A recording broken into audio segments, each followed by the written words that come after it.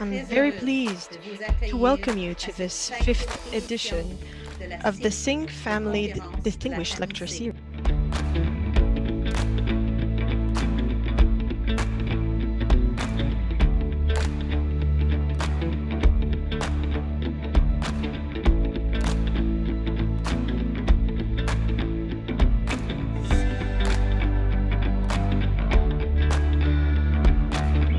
I'm very happy today to present you Christiane Taubira, former Justice Minister of the French Republic and author of a famous law that acknowledges slavery as a crime against humanity. We have the burden of uh, slavery and the denial of people's humanity.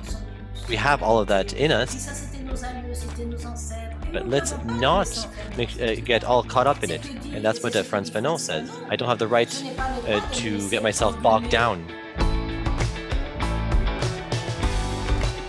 So it's not all about suffering. There are people who have survived so that we can be here today. And they didn't accept it to be reduced.